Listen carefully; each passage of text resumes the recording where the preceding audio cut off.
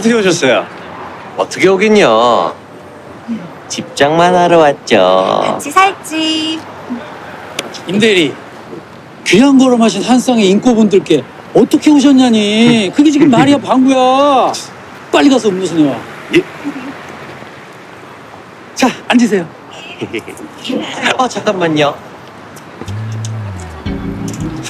자, 우리 자기 스윗하다니까. 아 와요. 앉으세요. 음. 아.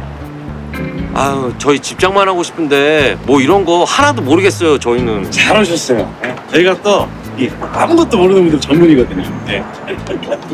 아 우리 임대리 말은 처음부터 끝까지 저희가 아주 자세하게 설명해 드릴 수 있다 뭐 이런 뜻입니다 예 아, 저기 저분이 알려주시는 거예요? 예? 아 지금 우리 강프로님을 모르는 거예요? 예? 에이 설마 부동산 컨설팅계 일타 강사님이신데 팔로우 수도 어마어마하고 오. 어머 어머, 자기야. 저분 유명한 분인가 봐. 우리 잘 찾아온 것 같아. 아 그럼 두 분 결혼하신 지는 얼마나 되셨고 지난달에. 예? 아. 저희 첫 결혼은 3년 전에. 저희는 지난달에. 아, 음. 재혼. 아유, 뭐, 재훈님은 어떻고? 뭐 첫 결혼이면 어떻습니까? 뭐 그래도 신혼부부 자격 되죠?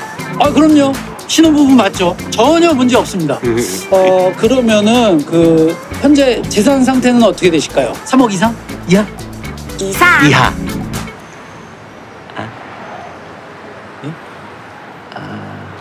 이혼 위자료. 아, 아, 내가 돈이 없지 여보가 없냐? 아, 내가 있잖아. 고마워요. 아.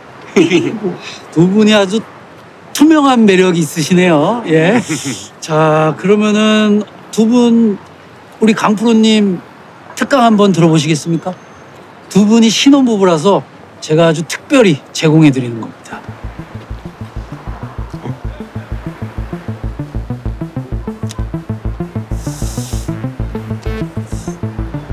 오 특별 대우. 그렇지 특별대